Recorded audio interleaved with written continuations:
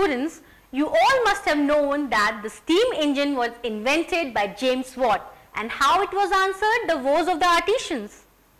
Now, let us know in detail about this invention. James Watt, an English craftsman who made machines, understood that the steam had strength to move enormous weights. As a result, James Watt developed a machine that would run with steam and which did not require men or animals to drive it. He showed the invention to Boulton, an industrialist and the two entered into partnership to develop such machines. Boulton helped in investments and paid a salary to James Watt. The agreement was that if profit was made, Boulton would take two-thirds of it and the remaining would belong to Watt. James Watt thus developed the steam engine.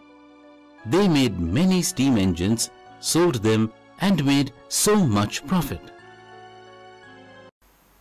As it was understood that machines could be made to run on steam, many new machines to do different kinds of works like weaving, spinning, manufacture of tools, vehicles, ships, etc. came into existence. This is how the steam engine of James Watt helped in developing new machines.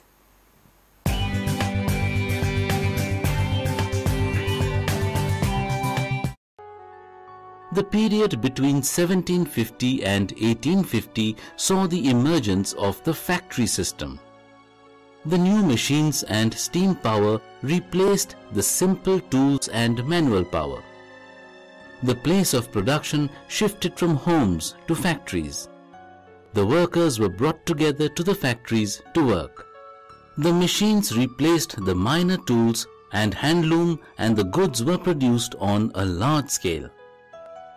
Now, let us look at who owned and managed the production facilities.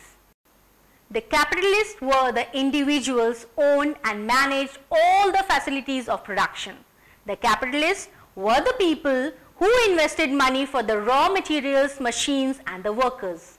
They were the owners of factory and owned the raw materials, machines and the finished products.